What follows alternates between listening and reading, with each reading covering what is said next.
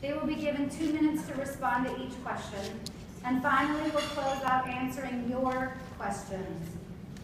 The panel discussion is not intended to be exhaustive of all the questions that you have about entrepreneurship, but it is designed to stimulate thoughts and to open dialogue. So make sure you take advantage of these ladies during our breaks. This is the beginning of your entrepreneurial journey.